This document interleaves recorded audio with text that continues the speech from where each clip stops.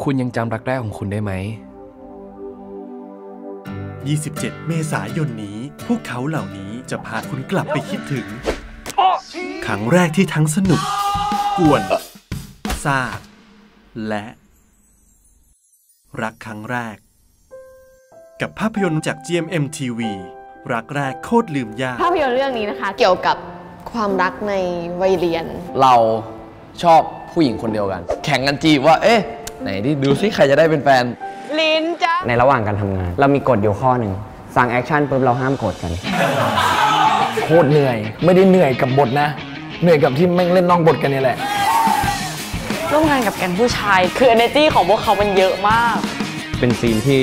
ในบทก็คือแค่วิ่งไปแล้วก็กระโดดเล่นที่ไหนได้ วิ่งไปปุ๊บอะโยนบาสเล่นกันบ้างถอดเสื้อบ้างอะไรบ้างคือเละเทะไปหมดเขาจะข่าวว่าเสื้อต้องต้องทิ้งไปเลย ผมหันไม่ด่าพี่ฝนว่ากองเรามีประกันเรื่องถ้ามันกระทบกระเทือนมากไปไหมยูโรจะโดนบ่อยมาก